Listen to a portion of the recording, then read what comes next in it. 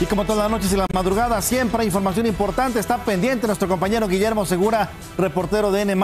Guillermo, buenos días, adelante. Eric Jones, muy buenos días, les saludo como siempre con gusto.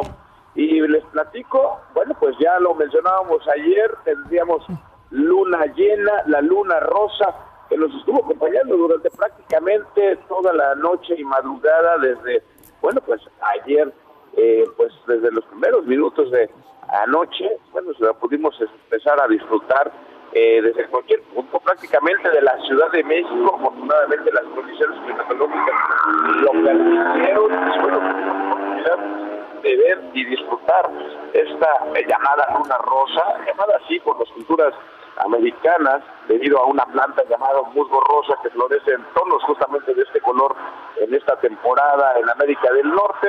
Y aunque la luna no se muestra de color rosa como se le denomina, pues sí coincide con el, momento en el que ocurre el punto más cercano justamente entre este satélite natural y el planeta Tierra, por lo que aparece, por lo que podría parecer más grande y más brillante esta luna llena. Viene luego del eclipse solar del pasado 8 de abril, por lo que es la primera luna llena de la primavera en el hemisferio norte.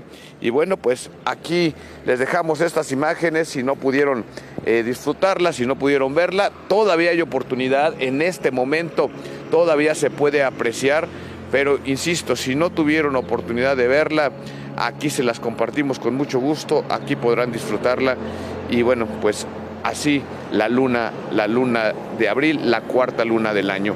Eric Jocelyn, lo más importante que tuvimos durante esta noche madrugada en las calles de la Ciudad de México. Así es, se aprecia brillante a esta hora de la mañana. Afortunadamente el cielo está despejado aquí en la Ciudad de México, así que si pueden asomarse, se alcanza todavía a ver esta luna llena. Ya lo decías, Guillermo, la cuarta del año es la primera de la primavera en el hemisferio norte. Así se aprecia esta luna llena, la luna rosa en el horizonte esta madrugada. Guillermo, muchísimas gracias.